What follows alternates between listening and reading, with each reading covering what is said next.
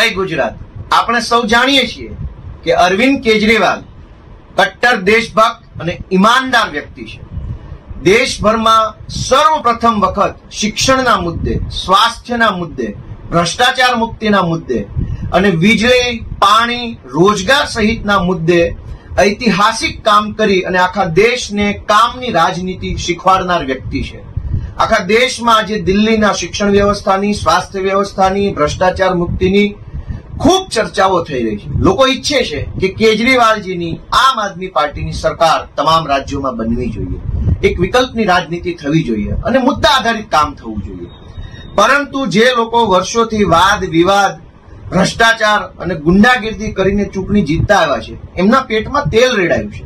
અરવિંદ કેજરીવાલ ગુજરાતમાં આવે છે અને ગુજરાતની જનતા માટે સારી શાળા બનાવવાનું, સારા દવાખાના બનાવવાનું, ભ્રષ્ટાચાર નાબૂદ કરવાનું પીવાનું અને સિંચાઈનું, પાણી પૂરું પાડવાનું અને યુવાનોને રોજગાર આપવાનું જ્યારે એક બાહેધરી આપે છે, એક વિકલ્પ આપે છે, ત્યારે વર્ષોથી ભ્રષ્ટાચાર કરી કરી, કરીને મોટા ભોરિંગ બની ચૂકેલા ભ્રષ્ટ મહાઠગ ભાજપના લોકોના પેટમાં તેલ રેડાયું છે.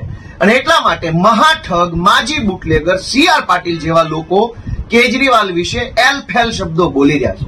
મારે બધાને જણાવવું છે કે સી આર પાટીલ જેવા મહાઠગ વ્યક્તિ ઉપર ઓફિશિયલી લિંબાયત પોલીસ સ્ટેશનમાં ચારસો વીસી નો કેસ થયેલો ઠગાઈ કરવાનો, ચારસો વીસ નો અમદાવાદની મેટ્રોપોલિટન મેજિસ્ટ્રેટ કોર્ટની અંદર ચેક રિટર્નનો એકસો આડત્રીસ નો કેસ થયેલો છે. સુરતની કોર્ટમાં ચેક રિટર્નના કેસો થયેલા. ગામના પૈસા બૂચ મારી મારીને, ગામના પૈસા ઠગી ઠગીને, ખોટા ચેક પકડાવીને, જેના પોતાના ઉપર ચેક રિટર્નના કેસ થયા હોય, જેના પોતાના ઉપર ચારસો વીસના કેસો થયા હોય જેને પોતાના ઉપર ડાયમંડ જ્યુબિલી બેંકનું અઠ્ઠાવન કરોડ રૂપિયાનું બૂચ મારવાના ફરિયાદો એકસો ને સાત જેટલી કોર્ટની સિવિલ એપ્લિકેશનો ચાલુ હોય. આવા મહાઠગ, માજી બુટલેગર સીઆર પાટીલ જેવા લોકોએ કમસે કમ કેજરીવાલજી વિશે એક પણ શબ્દ બોલવાનો અધિકાર નથી. આવા મહાઠગના હાથમાં ગુજરાત છે.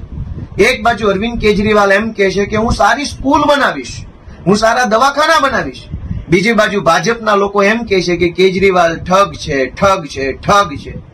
નક્કી આપણે કરવાનું છે કે કયા મુદ્દાને આપણે મહત્વ આપવું? કેજરીવાલના મુદ્દાને મહત્વ આપવું કે મહાઠગ સી આર પાટીલ માજી બુટલેગરના મુદ્દાને મહત્વ આપવું? એ નક્કી કરવાનો સમય આવી ગયો છે.